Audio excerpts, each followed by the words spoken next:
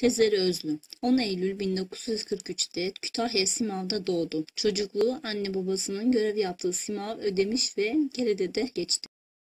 10 yaşında İstanbul'a geldi. Avusturya Kız Lisesi'nde okudu fakat mezun olamadı. Paris'te tanıştığı tiyatrocu ve yazar Güner Sümer'le 1964'te evlendi. Ankara'ya taşındı, boşandı, İstanbul'a yerleşti. 1968 yılında yönetmen Erden Kral'la evlendi. 1973'te Deniz adına bir kızı oldu. Bir burs alarak Berlin'e gitti. Bu arada Kran'dan boşandı.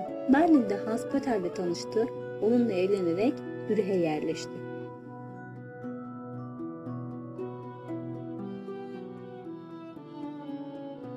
Tezer Özlü'nün Edebi Hayatı İlk kitabı 1963'ten itibaren dergilerde yayınlanan öykülerinden oluşan Eski Bahçedir. Kitap ilk kez 1978'de basıldı. 1980'de ilk romanı olan Çocukluğun Soğuk Geceleri yayınlandı. Kendisini derinden etkilemiş üç yazar olan Sivevo, Kafka ve Pavese'nin izinden giderek yazdığı ikinci romanı 1983'te Bir İntiharın İzinde adıyla yayımladı. 1983 Marbok Yazın ödülünü kazanan kitap, yazar tarafından Yaşamın Ucuna Yolculuk adıyla Türkçe olarak bir anlamda yeniden yazıldı. Ve bu hikaye bu haliyle 1984'te basıldı.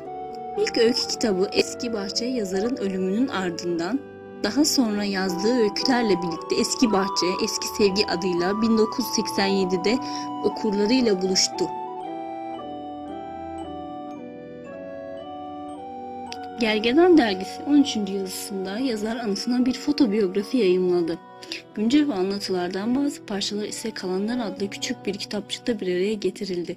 Bu kitapta yer alan çoğu Almanca yazılmış metinler Sizler Tur tarafından Türkçe'ye çevrildi.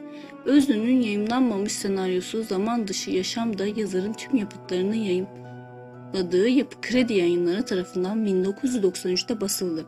Bu seri yazarın dostu Leyla Erbil'e yazdığı mektuplardan oluşan Tezer Özlü'den Leyla Erbil'e mektuplarda bulunmaktadır.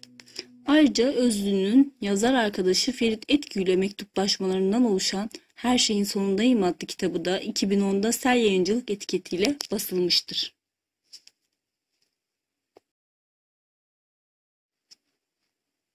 Eserleri Eski Bahçe, Çocukluğun Soğuk Geceleri, Bir İntiharın İzinde, Yaşamın Ucuna Yolculuk. Eski bahçe, eski sevgi, kalanlar, zaman dışı yaşam.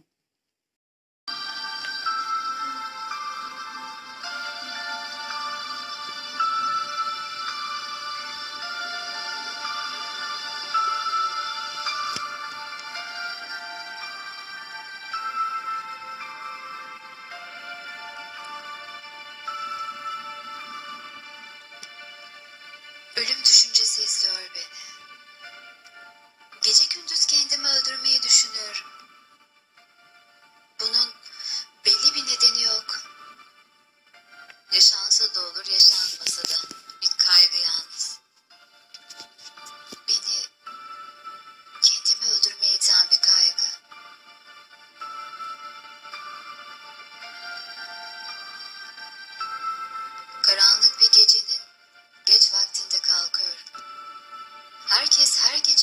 Uykusunu uyuyor. Ev soğuk. Çok sessiz davranmaya özen gösteriyorum.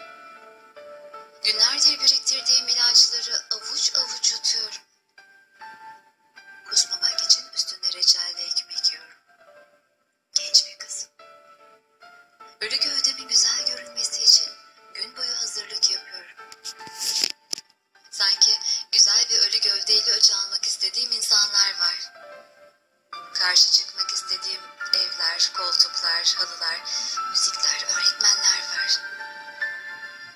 Çıkmak istediğim kurallar var.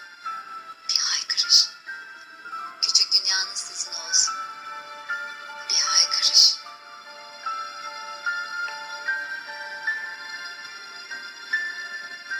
Sessizce yatağa dönüyorum.